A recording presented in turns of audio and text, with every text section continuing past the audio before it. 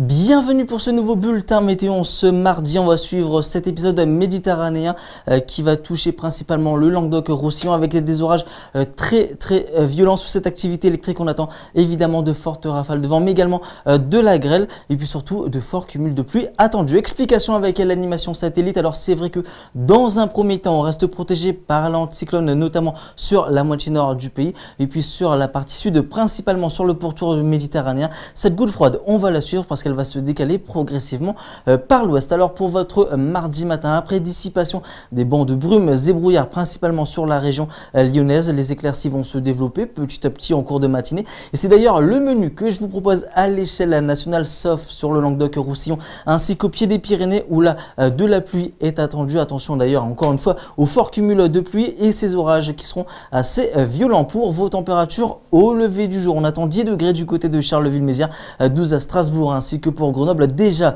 19 à 18 degrés pour l'île de Beauté, 12 à Paris, 9 degrés du côté de Brest. Pour la suite de votre journée, eh bien c'est simple, on prend les mêmes et on recommence toujours ces belles éclaircies quasiment sur les trois quarts du pays. Quand même, encore une fois, le Languedoc-Roussillon euh, sera concerné par cet épisode méditerranéen et toujours euh, ces orages assez violents. Et puis euh, le vent qui va commencer à s'accentuer principalement en Méditerranée avec des rafales aux alentours des 50 voire 60 km heure. Pour vos températures dans l'après-midi, elles seront très souvent au-dessus de la barre des 20 euh, degrés, ce qui est assez exceptionnel pour un mois d'octobre avec 23 degrés du côté de Strasbourg, 25 euh, pour les rues de la capitale, 26 degrés du côté de Bordeaux, 21 euh, pour Biarritz et 28 degrés du côté de Bastia pour votre tendance. Alors mercredi encore un temps instable principalement sur le sud-ouest et ça pourrait remonter jusqu'à la Bretagne. Idem pour votre jeudi avec des températures qui par contre resteront très agréables. Et puis pour la période de vendredi jusqu'à lundi prochain, l'anticyclone, vous le voyez, il sera bien présent, ce qui va rejeter